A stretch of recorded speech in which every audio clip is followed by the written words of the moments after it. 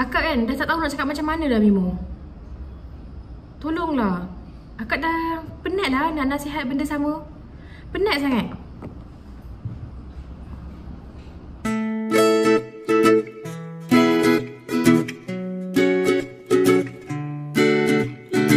Malam ni saya terpaksa buat keputusan. Tolonglah. Korang tolonglah. Cakap dengan kucing ni supaya jangan jadi nakal. Beratus kali, beribu kali, berjuta kali pesan benda sama. Lepas pup-pup, tutuplah pup-pup tu dengan pasir.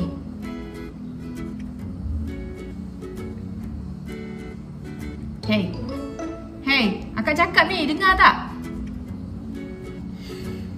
Kisah yang paling seram adalah bila tak tutup pup-pup dia dengan pasir. Tahu tak? Orang marah ni, dengar. Ha, akak dah malas dah nak ulang benda sama dah. Dah malas dah nak ulang benda sama. Ya? Mimo sebagai ketua kucing dekat rumah ni harus mendidik adik-adik. Dan kau pun nak dengar juga ke? Mimo sebagai ketua kucing Ketua keluarga kucing Dekat rumah ni Perlu mendidik adik-adik supaya lagi beradab Bila ketua kucing jalan sengit Anak kucing pun jalan sengit Mimo Mimo ni umur dah 3 tahun dah Dah besar Berapa kali akak nak ingat ke benda sama? Mimo? Mimo, dengar tak? Dengar tak? Dia Aku tak tahu nak cakap macam mana Dia akan buat muka macam tu Kalau aku nak bagi nasihat kan? Eh aku rasa macam uh. Hi Jangan nak buat muka macam tu. Muka muka Mimo tak comel. Muka Mimo tak comel. Muka Mimo buruk. Saya sebenarnya ada satu satu masalah besar nak cerita kat korang ni. Sampai sekarang aku terjadi. Setiap kali dia pop-pop Pop-pop tu yayak lah ya. Ataupun dengan kata yang lebih kasar Berak. Okay, setiap kali dia pop-pop Dia takkan tutup pop-pop dia dengan pasir. Bunyi je lebih. Okay, dekat bekas tu dia cuma cakap Dia cuma cakap dekat bekas tu. Krak, krak, krak, krak, krak, krak, krak Bunyi satu rumah dengar. Tapi tengok pop-pop tak tutup pun dengan pasir. Tak tutup pun. Ha? Bunyi je lebih. Ketuk, ketuk ha? Dia garuk-garuk kat bekas tu je Dia takkan garuk dekat pasir tu ha? Dia takkan ambil pasir tu tutup tight dia Sebab apa? Dia geli Dia penggeli kau tahu tak? Dia penggeli Kalau ada kucing lain Contoh adik-adik dia berak kat bekas tu Dia takkan nak Dia takkan nak eh Dia kena tunggu aku bersihkan Barulah dia pupuk dekat situ Dia tahu Abang dia kena bebel ha, Dia kata Eh hey bro kau okey tak? Aku belah dulu. Ha, Macam tu. Tolong eh. Sebab Akak tak tahan dah. Bau dia serupa bangkai. Mimo Cukuplah mulut Mimo yang bau busuk tu. Janganlah pop-pop yang berbau bangkai. Kenapa Mimo macam ni ya? Akak dah tak tahu nak cakap macam mana dah Mimo. Muka dia comel Tak comel, tak comel. Kalau kau nakal kan, kau tak comel. Menyakitkan hati. Cuba kalau orang cakap tu Dengar. Eh, aku rasa macam nak uh. Itulah masalah besar Yang aku tak dapat nak elakkan sampai sekarang. Malam ni memang terpaksa aku aibkan budak ni.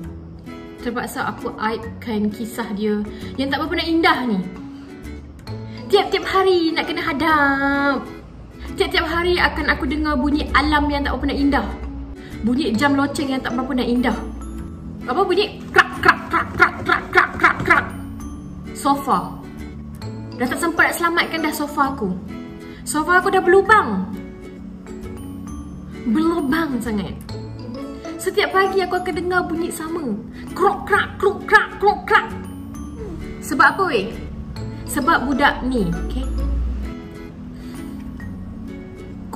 nampak je muka dia ni baik. Oh, bila cakap tahu pandai sandar kat dinding. Dah lah pop-pop tak reti nak tutup. Lepas tu suka mencakar aku punya sofa. Yang adik-adik ni mafia dengan yang si buruk tu pun mengikut. Yang si buruk tu putih lah muka comot tu. Akak nak Mimo buat perjanjian dengan akak malam ni. Apalah dia penang ni. Okay. Saya berjanji.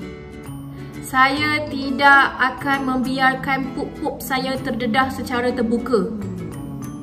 Jangan nak marah. Ya? Cakap. Saya berjanji saya tidak akan mendedahkan pup-pup saya secara terbuka. Dan saya juga berjanji saya tidak akan mencakar sofa saya ataupun sofa tuan saya. Saya berjanji saya tidak akan mencakar sofa saya. Ini tak boleh marah. Jadilah dia nanti dia baik mood. Lepas nak kena pujuk balik. Dia yang buat salah Aku yang nak kena pujuk balik. Ya, ya, ya. Akak tak marah. Ya, akak tak marah. Ya, akak tak marah Mimo pun. Akak suka. Memang akak suka Mimo macam ni. Memang akak suka, ya? Akak suka sangat. Aha, Gegamlah aku. Itulah aku pun Tak tahu nak buat apa dah dengan cara ini lah yang dapat menyedarkan dia harap-harap lah harap-harap dia sedar lah yang pop-pop dia tu tak wangi mana. Oh marah bila kita cakap pop-pop dia busuk. Memang busuk. Kena kat dah pesan? Lepas pop-pop tu kan tu pasir tu kau kampus balik bukan yang kau garuk dekat bekas tu krak kruk krak kruk krak kruk satu rumah boleh dengar orang suruh tutup kau punya pop-pop. Ini kan bunyi je beria. Bila pergi belakang tengok-tengok eh, terdedah je pop-pop tu. Salam. Deal eh? Deal. Daripada jangan buat lagi eh. Boleh tak? Deal. Okay, bye. Korang jangan lupa subscribe ya. Yeah? Jangan lupa subscribe. Okay, so itulah video saya dengan Mimo ya. Okay uh, Okay itulah video saya dengan Mimo. Okay ramai sangat nak tengok mana Mimo kan Nak tengok kucing, nak tengok Mimo. Okay so saya pun dah tunaikan ha, oh, Video ni suka-suka je Tak ada niat apa-apa pun. Kita lagi pun Memang macam ni kita orang dekat rumah kan. Ha, Bising-bising macam tu je. Tak adalah kita nak marah betul-betul ke apa ke Tak ada. Okay? Ha, Mimo memang, memang kucing yang manja. Kucing yang sangat manja Lepas tu dia memang tak boleh nak kena marah kalau marah dia nanti muka dia lain. Memang muka dia kesian gila lepas kalau kita marah dia. Ha. Tapi tak adalah sampai saya nak marah dia sebab dia tak tutup pup-pup dia ke apa ke Saja je lah. Okay? Uh, Tengoklah video ni sampai habis. Ha, Nanti jangan pula ada yang komen Eh sebab kucing pup-pup pun nak marah. Ha, Itu memang nak kena lah kan? Ha, Tengok sampai habis. Okay? Uh, So itulah dia. Uh, Lepas ni insyaAllah Saya akan cuba Sedaya mungkin untuk bekerjasama dengan Mimo untuk buat video dengan lebih kerap. Itulah dia bye. Eh korang jangan lupa subscribe punya channel eh. Ha, klik subscribe. Ha, sebab nanti banyak lagi video Mimo ke, video seram ke, video makeup ke. Okay banyak sangat. Bye. Assalamualaikum.